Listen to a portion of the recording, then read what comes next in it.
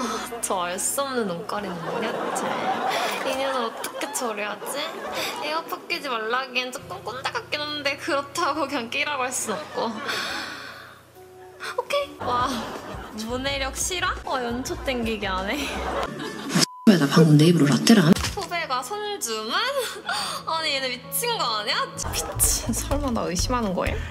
안 움직이냐 이것들아? 저거 빼라고 했을 텐데 딱 귀때기에 처 끼고 있네 씨. 아 혹시 에어팟이 네 달팽이관임? 이 맑은 눈의 광인을 어떡하지? 막내야 수저 세팅 안 하고 뭐하고 있니?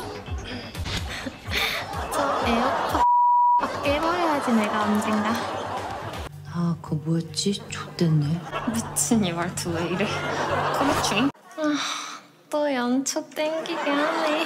법카 쓰면서 생색 개오지죠 안 찢음냐 이것들아. 뭐야 은근 딱딱한 성격이네. 미친 서펜가? 뭐야 침대의 재질이잖아? 어 약간 손수코도 닮은 듯? 얼른 뼈통 비우고 반찬 퍼와. 언니가 이렇게 부탁한다 얘들아 뜨거우니까는 식혔다가 마지막에 먹어야지. 응 맛있겠다. 맛있겠지.